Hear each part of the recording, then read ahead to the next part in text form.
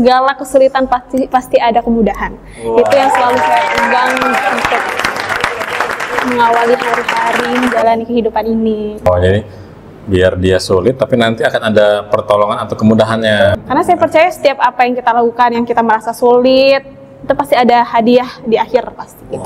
Pengalaman pribadi sih sering kayak. Makanya jadi berkesan sekali Iya ya. berkesan. Itu kayaknya bener deh gitu. Oke oke. Cucok. Cucok deh.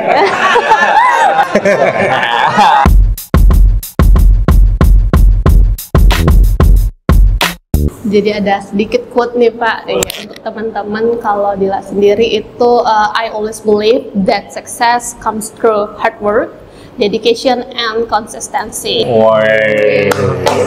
Mark my word, uh, konsistensi Pak. Jadi harus konsisten gitu. Yang di garis bawah itu konsistensinya. Wah luar biasa sekali ya. It's the strength and the strength konsisten.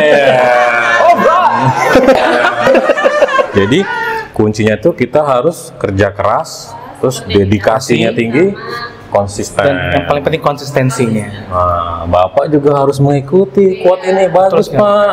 Bapak suka nggak konsisten. Jadi ini ah, perlu kita tiru ini Bagus. quote dari Dila. Iya, benar. Ya. Hmm. Memang betul sekali tuh kerja keras, terus dedikasi ya. Dedikasi. Artinya niat kita ya Ya. harus dibuletin dulu. Hmm. Terakhir ah, dia harus Konsisten. Ya jangan misalnya kadang lesu, kadang semangat, Betul. semua terus set konsisten. Insya Allah nanti akan berhasil. Berhasil. Wah, bukan Argentina ya, berhasil.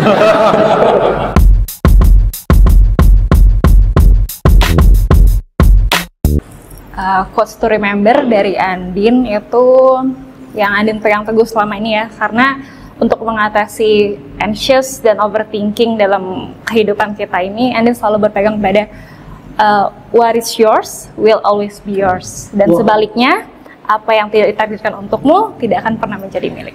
Ini sangat luar biasa sekali. Baik sekali Andi.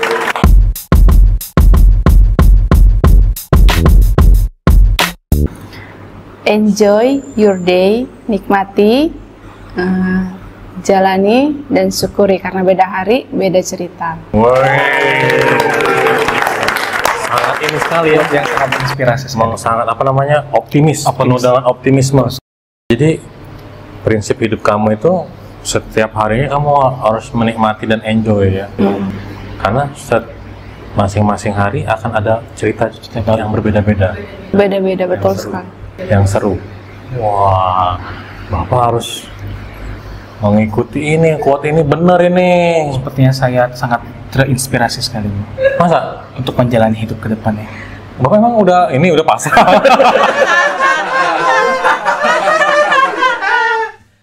ini sudah kamu apa namanya eh, filosofi atau moto ini sudah kamu pegang sejak kapan nih? Sudah kamu apa menganut seperti ini? istilahnya?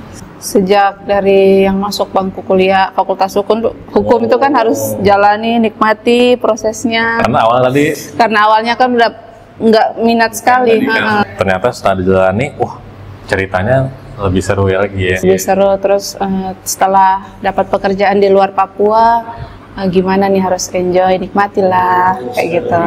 Oh, jadi ada eskalasi kehidupannya Ani ya. Sehingga dia me- mendorong Ani punya filosofi hidup yang bagus seperti ini. Apa namanya? Enjoy your Enjoy your day. Nikmati, Oh, iya. jalani dan syukuri. Betul nggak salah ya?